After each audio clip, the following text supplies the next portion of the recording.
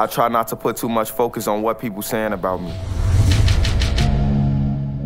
A lot of people who hate or got a negative opinion of me or feel like their perspective on me is just quote unquote real. I know those same people who may not like me, nine times out of ten will switch places with me in a heartbeat.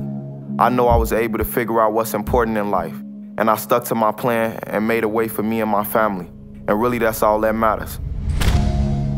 I make sure I stay hungry and humble with what it is I'm doing. So every chance I get, I'ma show them I belong. I'ma show the world that I deserve to be in the position that I'm in.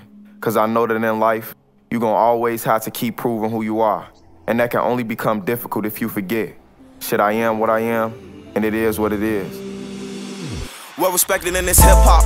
Lil Polo be spitting facts. A lot of rappers doing way more stunning than giving back. You ain't my color, then you don't know the struggle of living black. Cops kill us and we protest. What type of shit is that, man? If the